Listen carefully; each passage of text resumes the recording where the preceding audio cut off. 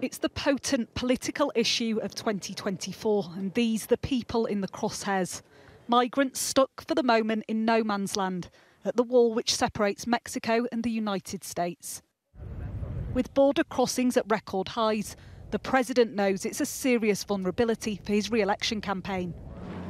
And for his likely contender, a major opportunity. Both men making dueling visits to the southern border. Beautiful day, but a very dangerous border. We're going to take care of it. Thank you. Our country back. And this is where Donald Trump's rhetoric is reverberating. Nothing is more important to voters in the entirety of the of the U.S. because we've basically made our country into a sanctuary country. This group of veterans in San Diego are driving in convoy to the border wall. Derek is a former Marine turned estate agent. It just takes one. It takes one to cause, you know, another 9/11 or an October 7th in, mm-hmm. in Israel. Mm-hmm. You know, my wife travels with four kids. She doesn't have the training that I do. Mm-hmm. That goes around and you know is is aware all the time. Yeah, She yeah. she just doesn't. So yeah, it, it definitely worries me. Donald Trump talks about um, immigrants poisoning the blood of America. What do you make of that sort of language? illegal immigrants. Mm-hmm. I don't want here that are gonna people that are gonna come over and just suck the system dry.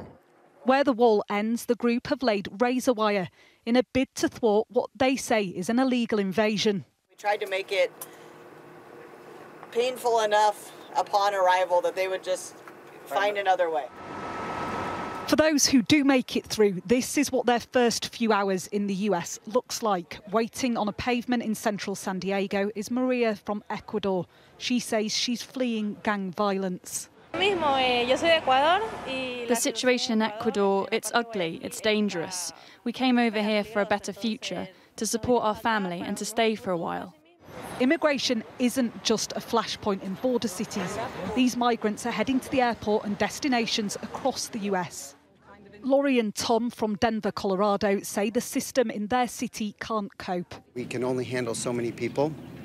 We only have the resources for so many, and to allow people just to keep coming in and coming again, something's going to break. You think Donald Trump would protect the border better than the Biden administration currently is? I think anybody would protect the border better than the Biden administration, regardless of who that is, truthfully.